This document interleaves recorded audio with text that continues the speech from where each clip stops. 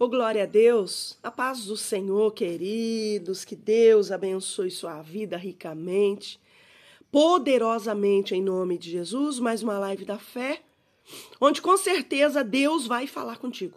Você crê assim? Porque eu creio. Eu creio que Deus fala. Todos os dias Deus fala. Não tem um dia a qual Deus a gente abre a Bíblia e não ouve a voz de Deus, a não ser que nós não queramos, queremos ouvir. Aí é outra coisa mas todos os dias Deus fala conosco. Eu convido você que não é inscrito ainda neste canal, talvez estava aí no YouTube viu esse vídeo, resolveu parar. Eu quero afirmar para você que não é sorte nem acaso. Tem a mão de Deus. Foi Deus que te trouxe aqui. E Deus vai falar contigo no dia de hoje. Tem situações na sua vida que você não está entendendo.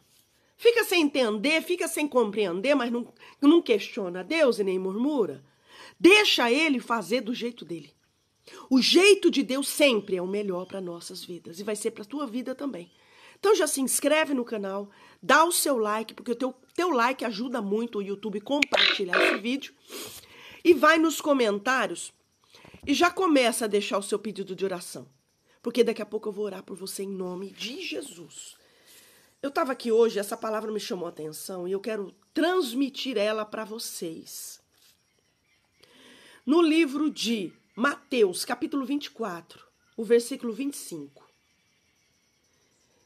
Olha o que diz aqui. Oh, Mateus 24, versículo 35.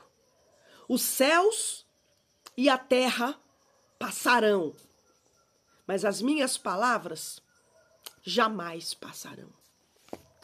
Irmãos, tem situações na nossa vida que a gente não entende porque está passando por aquilo.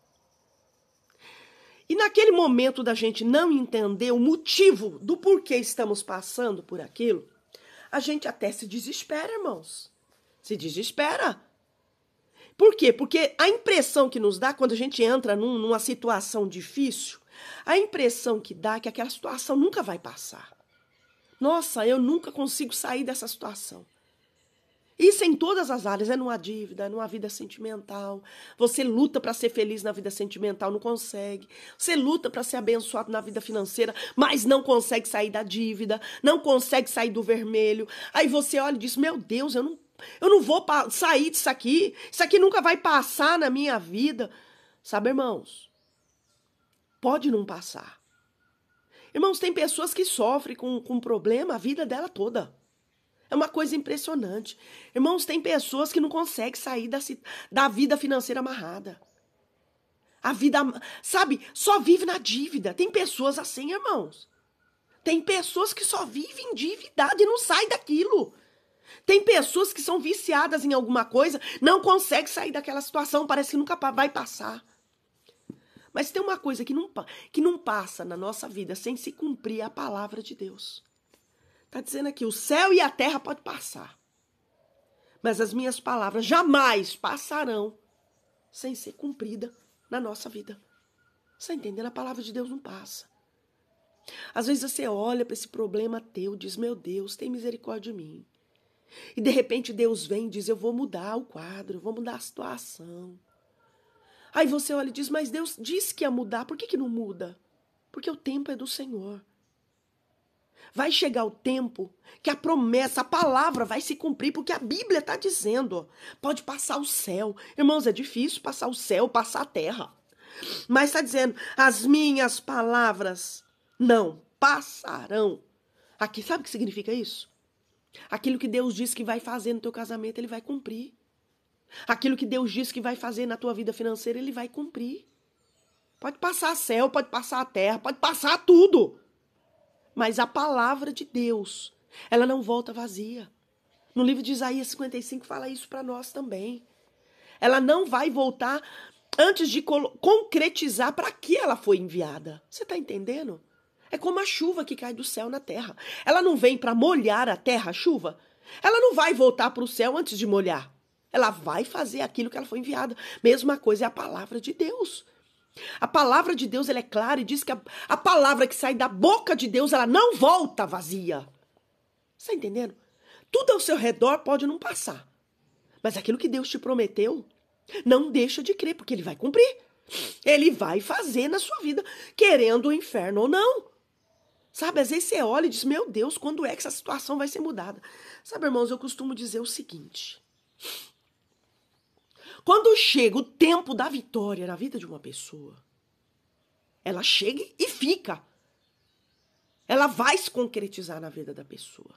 Missionária, quando é que a palavra, a, a vitória nos concretiza na minha vida, a palavra de Deus? Quando você desiste. Quando você deixa de crer. Quando você persevera. Você está entendendo que a única pessoa que pode impedir a promessa de Deus se realizar na sua vida é eu e você? Quando nós deixamos de crer. Deus não faz nada na vida daquele que diz eu não creio. Ele não faz, minha irmã. Sabe por quê? Quem arromba a porta é Satanás. Deus ele fica batendo na porta do coração. Tem muitas pessoas aqui na live da fé que Deus está batendo na porta, mas a porta tá assim, ó, travada, não abre. Sabe quando é que Deus vai realizar promessa na vida dessa pessoa? Nunca. Porque esta pessoa, ela quer o milagre, mas não quer o dono do milagre. Quer a bênção, mas não quer o dono da bênção. Agora, quando você diz, Senhor, eu vou abrir a porta do meu coração para o Senhor entrar. Eita, minha irmã, o Senhor entra, faz morada, o Senhor transforma. Aquilo que não acontecer na tua vida começa a acontecer, porque onde Jesus entra, minha irmã, onde ele chega, ele chega para mudar. Pode ver, na vida de todos, ó, chegou na vida da sogra de Pedro, curou ela. Jesus curou. Chegou na vida de um cego que ficava jogado à beira do caminho, não tinha ninguém por ele. A Bíblia vai dizer que Jesus chegou na vida daquele cego e deu visão. Chegou na vida do paralítico de Betesda, 38 anos esperando um milagre. Minha irmã, não tem situação, não tem local que Jesus chega que não muda. Só não muda se você não der a, abrir a porta para ele. Mas quando chegou na vida daquele tanque de Betesda, 38 anos naquele tanque. Sabe o que é 38 anos esperando um milagre, minha irmã?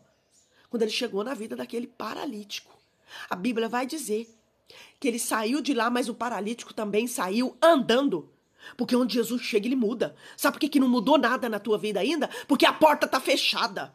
Porque ele só entra pra mudar quando você abre porta, minha irmã. Você tá entendendo? Ele não vai ficar do lado de fora. Não, ele quer entrar para te abençoar. Ele quer entrar para mudar a vida do seu filho. Ele quer entrar para mudar a tua vida, mudar a tua história, mudar o teu casamento. Mas muitas das vezes a vergonha de servir a Cristo não deixa você ser abençoado. Vergonha como, missionária? Ah, eu não vou ser cristã, não. O que, que vão dizer de mim? A crente está passando lá, a crente vem vindo. Irmãos, é sério que a palavra de Deus diz. Aquele que se envergonhar de Jesus aqui nesta terra vai ser envergonhado lá. É forte isso aqui. Você precisa entender que o que Jesus quer fazer na tua vida é te transformar. Você está entendendo? É transformar. Ele só transforma quando ele entra na casa. Tem quando, tem como você chegar numa casa e dizer, eu vou limpar minha casa hoje, mas a porta tá trancada, você limpa alguma coisa lá dentro? Se a porta tá trancada, você perdeu a chave, esqueceu a chave em algum lugar, e como que você vai entrar para limpar a casa? Não tem como você limpar a casa do lado de fora. Você tem que entrar nela para mudar, para limpar. É assim que Jesus quer fazer na sua vida. Aí essa palavra aqui, ó, pode passar céu e terra, mas as palavras dele não passam. Onde Jesus chega, ele muda. A mulher do fluxo de sangue. 12 anos sofrendo. Jesus chegou na história daquela mulher e fez o quê? Mudou.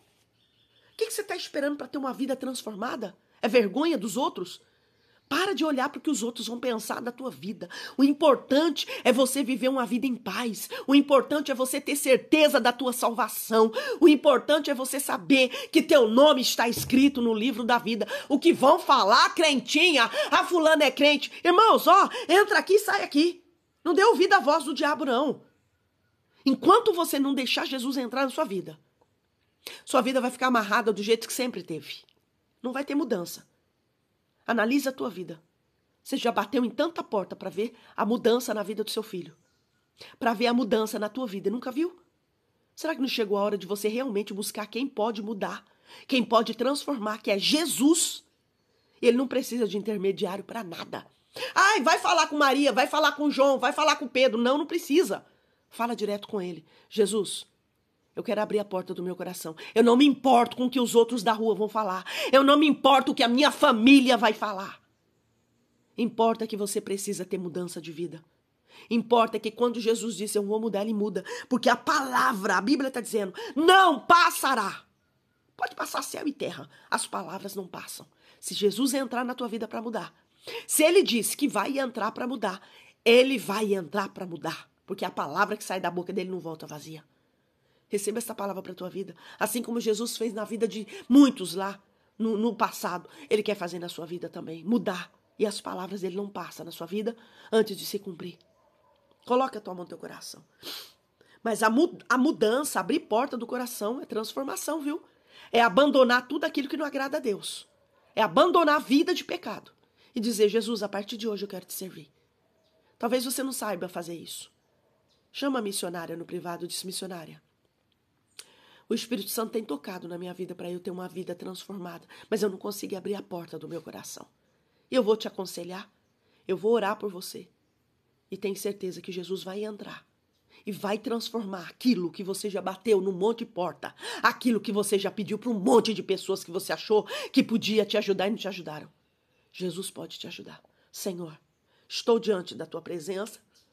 Uma palavra que chegou tão poderosa. Eu estava aqui hoje, quando o Senhor tocou no meu coração para trazer essa palavra. Eu nem me lembrava onde estava esse versículo, mas eu estou aqui fazendo a tua obra. Vai tocando no coração do outro lado agora. Vai tocando para que essa pessoa abra a porta para o Senhor entrar para o Senhor transformar esta casa, Pai, em nome de Jesus.